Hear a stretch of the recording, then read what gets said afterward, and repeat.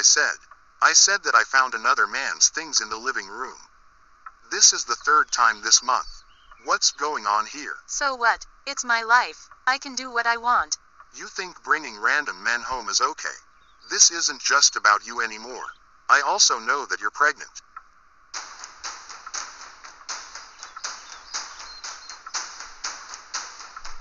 Don't act like you care. You never understood me. I care about you, Elena. But this, this reckless behavior has to stop. What do you want me to do? Sit around and wait for you to approve of my life. I want you to take responsibility. This isn't just a game. You can't keep running from your problems. Maybe I don't want to face them. I'm tired of your lectures. I can't have an unwed mother living in my house. I will leave then if that's what you want. Then where will you go? This isn't a way to live. I don't know. Aurello, pointing toward the door. You need to figure it out, because I can't have this in my home anymore. You need to leave. You're kicking me out. I can't watch you destroy yourself. You need to find a way to get help, Elena. But I have nowhere to go. You can go to your grandmother's. Flora's house. Elena arrives, tears streaming down her face as she knocks on the door. Ines opens it, looking concerned.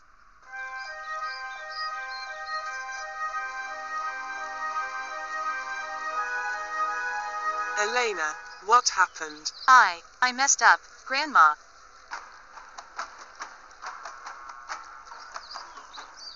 Shush. It's okay. Come inside. You need to talk about this. What did your father say? He kicked me out. He said I was ruining my life, and maybe he's right. You're still my sweet girl. But you need to find a better path. I don't even know where to start. I've been looking for my mom. Sabrina, she's been overseas for some time now. She initially went there for therapy and successfully overcame her chronic depression. During her time there, she found love and decided to stay. Over the years, she's tried to reach out to both you and your brothers, but your father, Aurello, refused to let her back into your lives, fearing she might have a negative impact on you. What you probably didn't know is that most of the gifts I've given you and your brothers over the years were actually from her. I just pretended I bought them so your father wouldn't throw them away. Have you thought about reaching out to her? I think I need to. I want to be with her. Aurello's house, cluttered with boxes and Elena's belongings. Elena enters with a bag, looking uneasy. Aurello is sitting at the dining table, his expression stern. You're back. I thought you were going to your grandmother's. I just came to get the rest of my things. Fine, but we need to talk about this. What's there to talk about? I messed up. Okay. You're pregnant, Elena. Who's the father? Elena, answer me. I, I don't know. What do you mean you don't know? I've been involved with several guys, and honestly, it could be any one of them. It all began when I started university. I was so depressed that I started seeking out men to numb the pain. Every day, I'd see some of my former high school classmates going off to medical school, while I was stuck in ethnic studies classes I hated. I'm still embarrassed to admit what I studied. Maybe ethnic studies is a great degree for some, but for me, as someone who was a straight A science student, it felt like a failure. Dad, I know I've made mistakes, and I'm really struggling to break free from these bad habits. This is not a game, Elena. You need to take responsibility. Responsibility. I didn't ask to be in this situation. Then you need to figure it out. I can't have this in my house. Elena, grabbing a box. I get it. I'm leaving. Aurello watches her, disappointment etched on his face as she storms out. Scene shifts to a small apartment belonging to one of Elena's boyfriends. Elena is sitting on the couch, scrolling through her phone. You okay? You seem distant. Just thinking about everything that's happened. Look, you can stay here as long as you need. I appreciate it, but I'm thinking I might need to leave the country, go to my mom. Your mom, is she even in a position to help you? She is. She's moved overseas. I just need the money for the trip. My grandmother gave me some money and I just need to top it up. I need the amount I mentioned earlier. Boyfriend. Pulling out cash. Here, take this. Just promise me you'll be careful. Thank you. I really mean it. Flora's house. Sophia and Adriana are gossiping in the living room, sharing a malicious smirk. Did you hear about Elena? I heard she's kicked out again.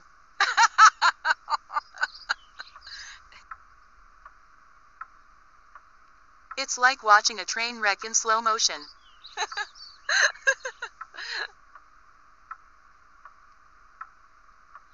And now she can't even tell who the father is. How pathetic is that? At least Ava and Jimena know who their baby daddies are. It's just too easy to poke fun at her now. And let's not forget Aurello's failed marriage. We played our parts well. Exactly. Now when people talk about your kids' problems, we can remind them of Alina's disaster. It's all so perfect. I just can't believe how everything turned out. This is just the beginning. We'll have our fun watching them all fall apart. My next targets are our other brother's eldest sons, that is, Bastian and Isandro's prize children. They're beloved boys. What, Sophia, aren't you taking this too far? Elena, now packing her things at her boyfriend's apartment. She glances at her phone, looking at pictures of her mother, contemplating her future. Maybe I can start over. She takes a deep breath, feeling a mixture of hope and despair. Lord, please help me. Ava's counseling office. Ava sits across from Mrs. Rodriguez, an elderly woman in her late 60s, visibly 10. The room is cozy, with soft lighting and gentle Christian instrumental music playing in the background. Mrs. Rodriguez's eyes are red from crying, and she's clutching a tissue. It's a vulnerable moment, the first time she's opening up about her father abandoning her as a child. I just don't get it, Ava. How could he leave? He never came back. Not a phone call, not even a letter. Nothing. It's like I wasn't worth staying for. Like I didn't matter. Mrs. Rodriguez, I hear you. What you're feeling is so valid.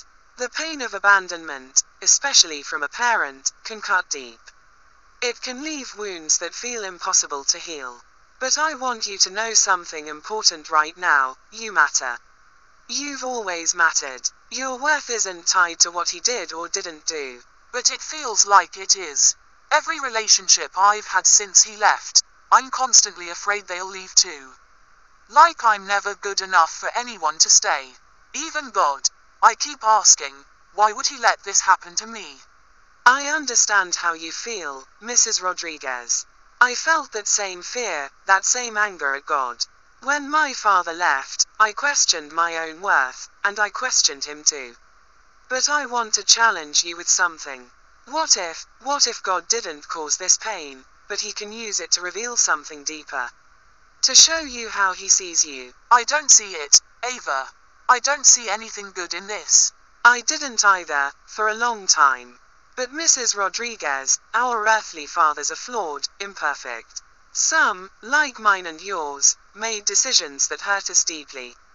But our Heavenly Father, He's not like that. He's constant, faithful, and His love is unconditional. He hasn't left you, even though it feels like it. And right now, in this moment, He wants to show you a love that doesn't abandon. It's okay to grieve what you've lost. It's okay to feel the anger and the pain. But I want you to start seeing yourself the way God does, not as someone who was abandoned, but as someone who was chosen by Him, someone He's never let go of. Can you try to believe that, even just a little bit? How? How do I even start? One step at a time.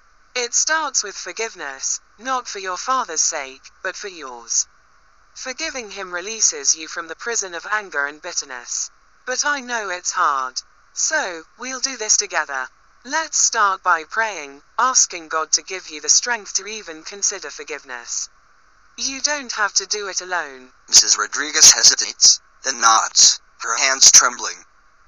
Ava reaches out, holding her hands, her voice calm yet powerful. Let us pray. Mrs. Rodriguez hesitates, then nods, her hands trembling. Ava reaches out, holding her hands, her voice calm yet powerful. Father God, we come before you in this moment of deep pain and confusion. Mrs. Rodriguez is hurting, Lord, and she's been carrying this burden for so long. I ask that you reveal to her the depth of your love, the love of a father who never leaves, never forsakes, and never abandons. Help her, Lord, to release the anger and the pain, to walk in forgiveness, and to see herself as your beloved daughter. Give her the strength to heal, Father. We know you are with her every step of the way. In Jesus' name, Amen. Mrs. Rodriguez squeezes Ava's hand, crying softly but with a glimmer of hope now visible in her eyes. Amen. This is the beginning, Mrs. Rodriguez. You don't have to be defined by your father's absence anymore. You are loved, cherished, and worthy, because God says so. We'll work through this together, okay? Okay. I think I'm ready. Sabrina's house overseas. Elena, you're here.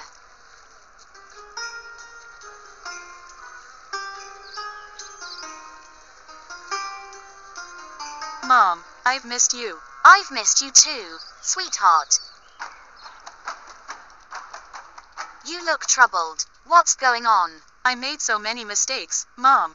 I'm pregnant, and I don't know what to do. We can figure this out together.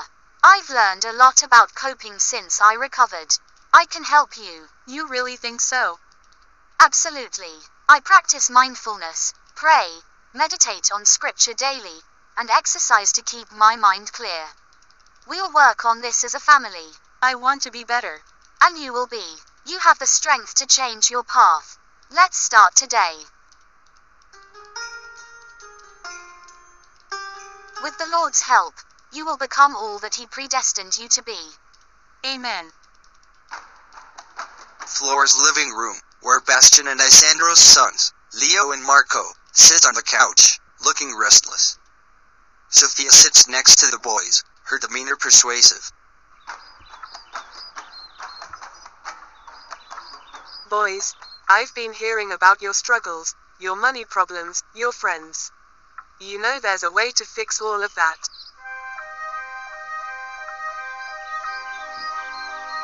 What do you mean, Aunt Sophia?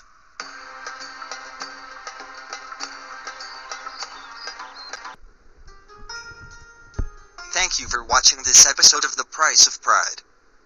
If you haven't already, please subscribe to our channel to stay updated with our latest content. We'd also appreciate it if you could like and share our videos. We value your support. As this episode draws to a close, we are reminded of the deep and lasting wounds that life's hardships can leave behind. Mrs. Rodriguez's story is one of many who carry the scars of abandonment for decades, seeking validation in places that could never fill the void. Yet, through her tears and brokenness, a seed of hope begins to take root. Ava, with her gentle spirit, reminds us that no matter how deep the pain, God's love can reach deeper. Forgiveness isn't about justifying the wrongs done to us, but about releasing the chains of bitterness that hold us captive. As Ava said, healing doesn't come overnight, but it begins with one small step, the decision to trust in the unfailing love of our Heavenly Father, who will never abandon or forsake us. In contrast, Elena's journey shows us the consequences of searching for comfort and identity in the wrong places. The brokenness that has followed her is a reflection of trying to numb her pain through fleeting pleasures. But even in her lowest moments, there is hope. Through her reunion with her mother, Sabrina, we see that redemption is always within reach. God's grace is powerful enough to rewrite any story, no matter how lost or confused we may feel. And as for Sophia and Adriana's gossip, it serves as a sobering reminder that malicious joy at another's suffering only distances us from God's heart. Rather than delighting in others' downfall, we are called to lift each other up, for in the body of Christ, we are meant to edify and encourage one another.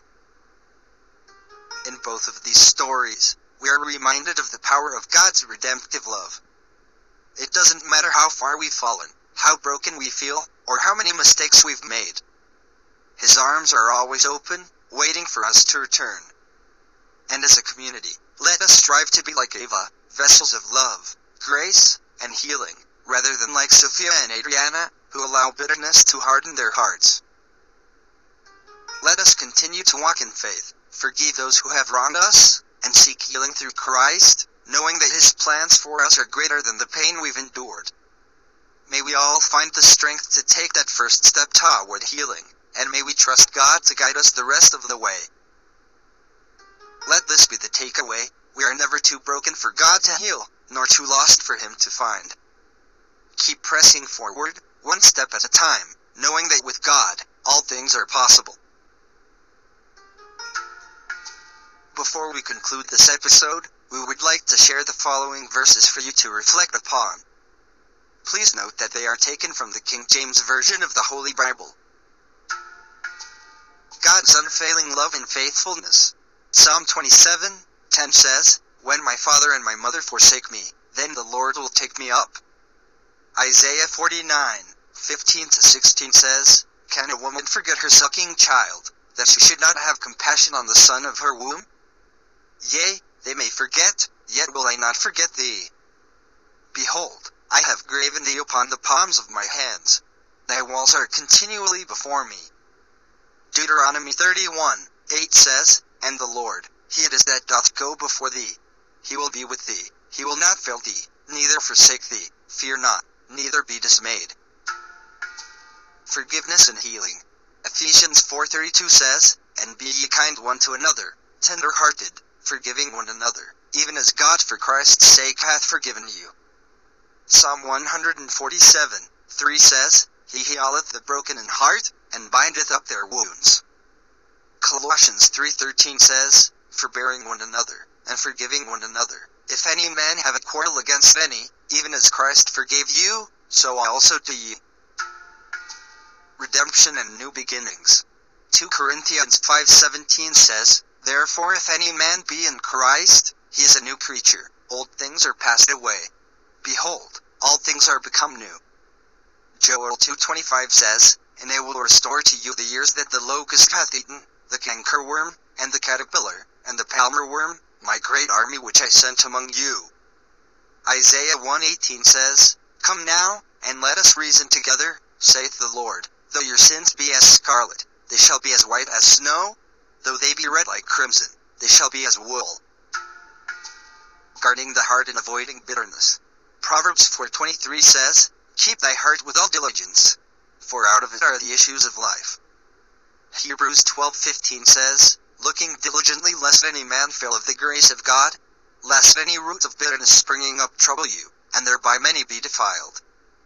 And Ephesians 4:31, Let all bitterness, and wrath, and anger, and clamor, and evil speaking, be put away from you, with all malice. Let us pray. Heavenly Father, we come before you with humble hearts, acknowledging your infinite power and grace. You are the God who sees, the God who heals, and the God who restores. Lord, we thank you for your unwavering love and mercy that renews every morning, no matter how broken or lost we may feel. Father, we ask for deliverance today. Your word says, The Spirit of the Lord is upon me, because he hath anointed me to preach the gospel to the poor. He hath sent me to heal the brokenhearted, to preach deliverance to the captives, and recovering of sight to the blind, to set at liberty them that are bruised. Luke 4:18. Lord, break every chain of bondage, every ungodly tie, and every generational curse that seeks to hinder the lives of your children. Set us free by the power of the blood of Jesus. We lift up every heart that has been wounded by the past, every spirit crushed by disappointment, and every soul burdened by the weight of sin. You have promised in your word that he healeth the broken in heart, and bindeth up their wounds. Psalm 147, 3. We ask for your healing touch today. Pour out your healing balm over every scar, both seen and unseen, and make us whole again. Heal us emotionally, physically, and spiritually. Lord, we pray for transformation. Your word tells us that if any man be in Christ, he is a new creature. Things are passed away. Behold, all things are become new. 2 Corinthians 5:17. We surrender every aspect of our lives to you. Renew our minds, purify our hearts, and align our desires with your will. Help us walk in obedience to your word, living lives that reflect your love, truth, and righteousness. We forgive those who have wronged us, as you have commanded us in your word, and be ye kind one to another, tender hearted, forgiving one another, even as God for Christ's sake hath forgiven you. Ephesians 4:32. Free our hearts from bitterness and anger. Teach us to love, even when it's hard, and to see others as you see them. Lord, we trust that you are working all things together for our good. We believe in your promise that I will restore to you the years that the locust hath eaten. Joel 2:25. You are a God of restoration, and we claim that promise over our lives today. Restore relationships, restore peace, restore joy, and restore purpose in the name of Jesus. As we leave this moment of prayer, may your presence go with us. Strengthen us by your Spirit, and help us walk in faith, knowing that you are faithful to complete the good work you have begun in us. In the mighty name of Jesus, we pray, Amen. Thank you for watching. Remain blessed.